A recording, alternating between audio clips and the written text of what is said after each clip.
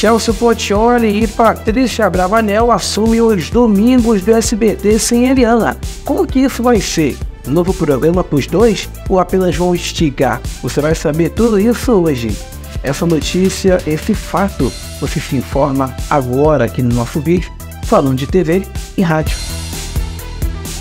Aqui você fica muito informado. Com opinião e credibilidade. Tudo sobre TV e rádio.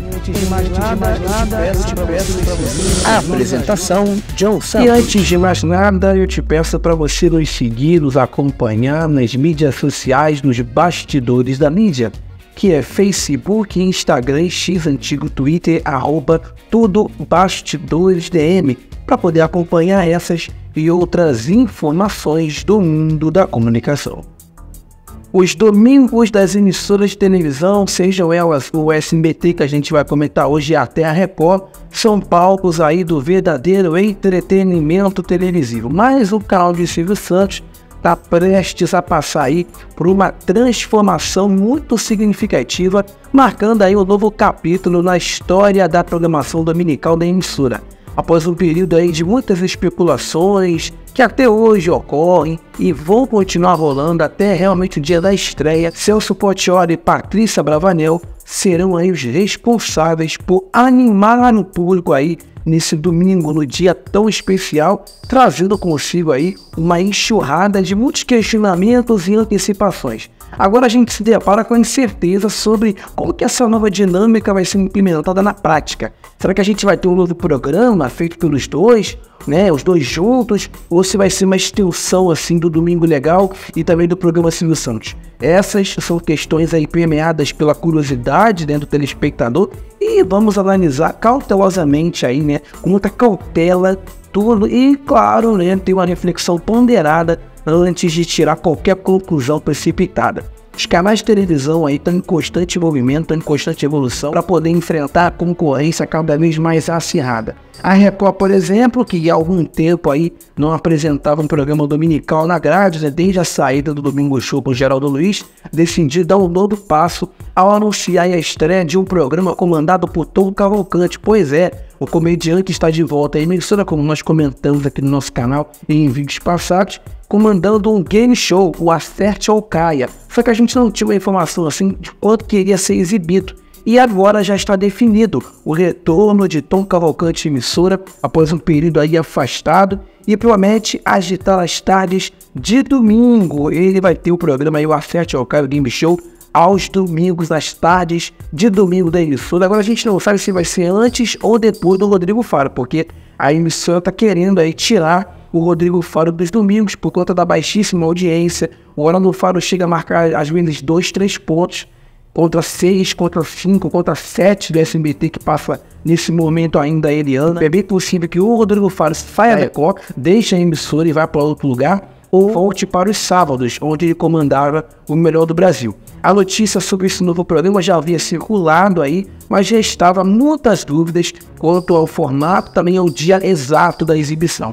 Segundo informações de Flávio Rico na sua coluna, o canal aí está com tudo pronto para poder iniciar as gravações que ainda não aconteceram esse mês, com previsão de estreia do A7 Okada em agosto. É um formato aí de game show de sucesso que bomba em vários países e oferece aos participantes a chance aí de ganhar prêmios significativos que podem chegar até 300 mil reais. O projeto do programa passou por várias decisões importantes, incluindo o horário de exibição que foi definido agora para as tardes de domingo. Essa escolha representa uma novidade muito interessante, muito inesperada para o público, mostrando que a Record está realmente aí disposta a inovar e competir de igual para igual com outras emissoras. O lançamento desse programa aí em agosto promete agitar o cenário com a expectativa de atrair uma grande audiência. Com essa expectativa, o canal dos bispos se une às demais emissoras que também estão se reposicionando para poder enfrentar a concorrência de forma mais eficaz. A busca por programas inovadores e atrativos se tornou uma estratégia muito importante, muito fundamental aí das emissoras para poder manter e conquistar um público em um mercado aí tão dinâmico e tão competitivo.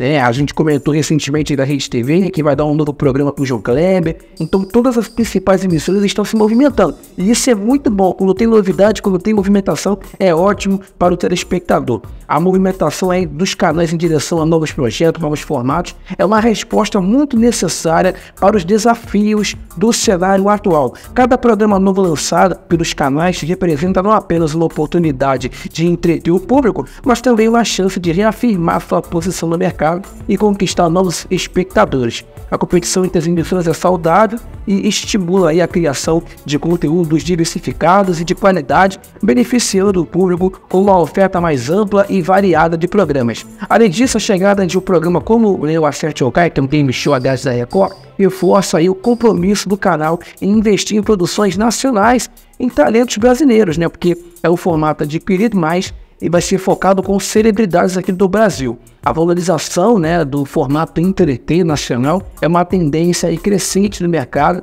refletindo o interesse do público por conteúdos que possam refletir a sua cultura e realidade. O sucesso de um programa como a 7 OK não depende apenas da sua concepção, da forma como ele vai ser apresentado pelo Tom Cavalcante, mas também de uma estratégia muito bacana, muito eficaz de divulgação por parte do canal. A Record realmente vai investir em campanhas e certamente vai em campanhas publicitárias, ações promocionais, para poder garantir que o Acerte OK, que esse game show aí alcance o maior número possível de espectadores e gere interesse entre o telespectador. A competição entre as emissoras não se limita apenas à programação dominical, mas abrange toda a grade de programação, cada dia da semana, né? E esses dias eles representam uma oportunidade para os canais aí conquistarem a preferência do telespectador, seja com programas que possam entreter, mas também jornalísticos, esportivos, Essa diversificação na grade é muito fundamental para poder atrair diferentes perfis de público e manter uma audiência fiel. E agora voltando a falar desse novo programa aí, né, desse novo espaço que a gente vai ter nos domingos do SBT agora aí, uma coisa é inegável, a decisão aí de reunir Celso Portioli e Patrícia Bravanin no SBT não apenas vai fortalecer os respectivos programas, mas também vai ampliar o espaço para os anunciantes, abrindo assim novas oportunidades comerciais e a diversificação ainda do conteúdo disponível para o público. Apesar do entusiasmo gerado por essa novidade, a gente não pode ignorar a possibilidade de esticar os programas existentes e que isso, né, que esse negócio de esticar programa pode aí correr o risco de saturar, porque quando você estica demais, satura muitos quadros, seria o caso de chegar mais, né, a revista matinal nas manhãs do SBT quatro aí, né? horas de duração, e é um programa que já está cansando. Não tem muita audiência por conta disso, porque até a direção não sabe mais o que fazer. Então isso pode impactar negativamente na receptividade do público. Uma sugestão assim pertinente para poder mitigar esse risco seria a inclusão de um programa intermediário, um programa no meio ali, entre o Domingo Legal e a Patrícia, né? Entre o programa Silvio Santos com a Patrícia, junto ali igual era o programa da Eliana, proporcionando assim uma transição suave entre os blocos de programas, enriquecendo ainda mais a oferta de entretenimento ao público ávido por novidades. Mas as estratégias né, que foram definidas pela direção de cada programa para poder lidar com essa mudança e manter a relevância, o frescor do conteúdo permanece aí em volta voltas e o mistério, aguçando a curiosidade do telespectador e alimentando a especulação. É inegável que diante desse cenário aí de mudança vai ser necessário um esforço conjunto por parte aí das equipes de produção para poder criar novos quadros, porque o programa, esses programas realmente forem esticados, vão ter que criar novos quadros, vão ter que introduzir inovações que possam prender e manter o interesse e, claro, ali chamar o público, porque o SBT só tem audiência aos domingos. Mas isso não pode se dissipar esticando os programas, né? Para poder manter o público em alto e que possa consolidar a audiência dos programas, que são programas consolidados, tanto Domingo Legal, o programa Silvio Santos com a Patrícia, é necessário que eles tenham que se esforçar bastante para poder produzir coisas que chamem o público. O Domingo Legal, por exemplo, sobre a batuta do Celso Portioli, ele se sustenta em apenas dois quadros, que é o Passo a Passa e quadros patrocinados como Comprar é Bom Levar é Melhor e também outros quadros aí que são financiados por patrocinadores. Esse Comprar é Bom Levar é Melhor, inclusive, é patrocinado pela Avan, que é um dos maiores atrativos e esse quadro chega até mesmo a rivalizar com a liderança, chega até a alcançar a liderança em cima da Globo em algumas ocasiões. Por outro lado, o programa Silvio Santos, comandado pela Patrícia Bravanel, ostenta uma variedade impressionante de quadros, porque a Paty ela é reconhecida né, por sua habilidade em conduzir e também esticar qualquer um deles. Então isso chama e cativa a atenção do público com uma personalidade envolvente. Diante desse panorama surge a intrigante questão, por que essa nova programação do SBT, como que essa nova dinâmica e como que isso tudo vai conseguir manter o interesse do público e com os ajustes necessários? A resposta a essas perguntas só virá com o desenrolar dos eventos à medida que as mudanças forem implementadas e o público possa avaliar o impacto real da nova grade dominical. No entanto, uma coisa é certa, os domingos do SBT prometem muitas novidades e momentos muito interessantes aí para o público que aguarda por uma experiência muito interessante, muito envolvente e diversificada, repleta de surpresa, repleta de entretenimento, com informações do Na Telinha, a última edição do programa Eliana, está programada para ar no final de junho, marcando aí o fim de uma era na grade de programação do SBT. Diante desse cenário, a equipe interna do canal está trabalhando aí arduamente para poder mitigar os possíveis impactos na audiência e no faturamento, resultantes aí da saída da apresentadora. O canal está adotando aí diversas medidas estratégicas para poder enfrentar aí essa transição.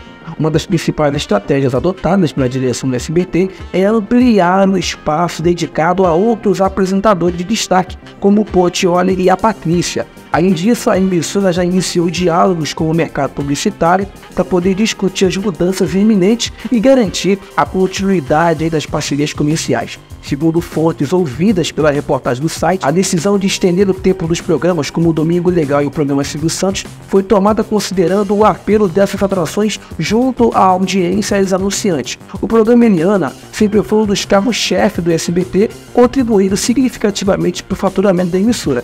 O canal está empenhado em negociar com patrocinadores do programa também para poder manter as suas marcas vinculadas à nova programação dominical. O objetivo é preservar essas importantes parcerias comerciais, mesmo com a saída da apresentadora. Além disso, o SBT tem trabalhado aí para poder ajustar para poder evitar possíveis conflitos entre segmentos de patrocínio em cada programa. A equipe responsável está cuidadosamente analisando essa questão e buscando soluções que atendam às necessidades de todas as partes envolvidas. O Portioli e a Patrícia são dois nomes aí bem avaliados no mercado, o que reforça que essa transição aí vai ser muito a vizinha. Portioli é conhecido como um apresentador de renome, frequentemente apontado como o sucessor de Silvio Santos e é conhecido por evitar polêmicas na sua carreira. Já a Patrícia Bravanel, filha do próprio Silvio, é vista como uma herdeira do carisma, do talento do seu pai no mundo do entretenimento. Embora a saída de Eliana do SBT seja um marco muito significativo, nos bastidores especula-se sobre o seu futuro profissional. Há expectativas de que ela possa realmente assinar com a Globo após deixar o canal de Silvio Santos. No entanto, de acordo com a telinha, revelou aí que Eliana está considerando aí uma proposta milionária também da Record. Então tudo está sendo avaliado e só vai ter o veredito no final do contrato dela com a SBT. A emissora dos bichos, como a gente comentou, ao ser procurada para poder comentar sobre essa possibilidade aí, negou ter feito qualquer oferta a Eliana. E, inclusive o próprio SBT também negou que a programação dos domingos esteja já definida, negando o que o Lanterninha informou. Mas a gente tem que dar informação e o que é hoje fake news, amanhã se torna verdade. Então tá dada a informação aí do site Lanterninha de que Celso Portioli e Patrícia Bravanel podem aí ser os novos rostos juntos aí da programação de domingo do SBT, porque ambos os programas vão ser esticados. Tá dada a informação, minha gente. Estamos encerrando mais um vídeo aqui no canal. Te peço para você se inscrever, deixar o seu gostei e não se esqueça aqui embaixo ó, de nos acompanhar nas redes sociais, Facebook, X, Instagram, antigo Twitter, arroba BastidoresDM, para poder acompanhar essas e outras notícias do mundo da comunicação, TV e rádio. A gente se vê sem dúvida no nosso próximo vídeo. Se cuide sempre e até a próxima.